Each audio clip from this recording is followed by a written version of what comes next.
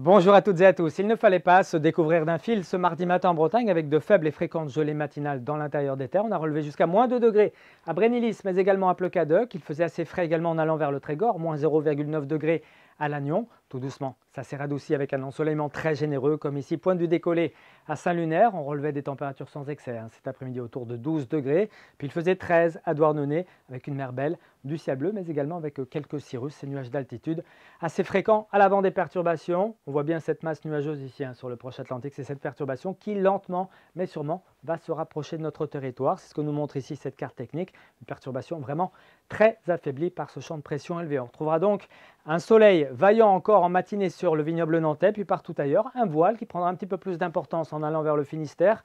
Notez également au lever du jour une possibilité de brume, voire de léger brouillard.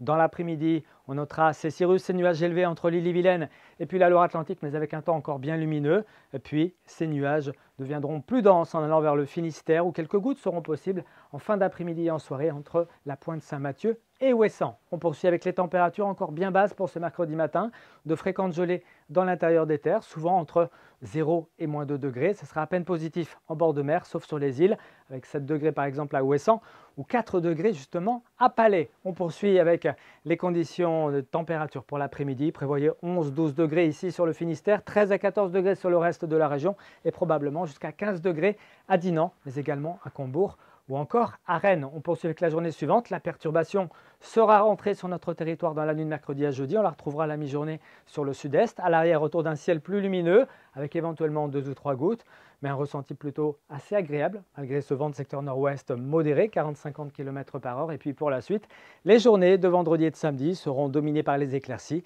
dans une ambiance qui aura tendance quand même à se radoucir en cours de journée. C'est éventuel, vous en reparlera ici même demain soir. Très bonne soirée et à bientôt.